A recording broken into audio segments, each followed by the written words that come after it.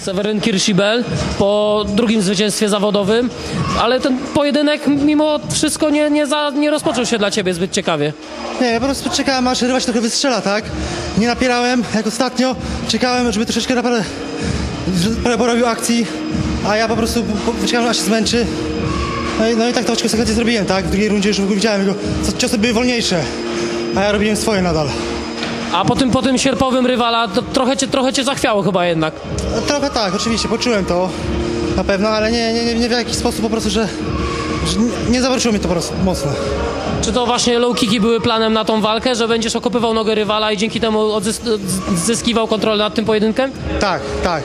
Wiedziałem, że to nogę zostawia, jak odchodzi po jakiejś serii. Po prostu wykorzystywałem. Miałem na to plan po prostu. Może nam powiesz, z kim się do tej walki przygotowywałeś? E, walki przydałem się u mnie w klubie Fighting Division Bydgoszcz oraz jeździłem na sparing do Arachiońskiego Olszty, do Olsztyckiego Arachionu. Do chłopaków, których też chciałem bardzo pozdrowić. Bardzo fajna mi atmosfera tam jest, także dziękuję im za to.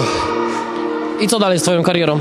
Co teraz? Następny raz walczymy na gali Slugfest w murowanej Goślinie. E, Odbędzie się ona 6 czerwca. Także niebawem.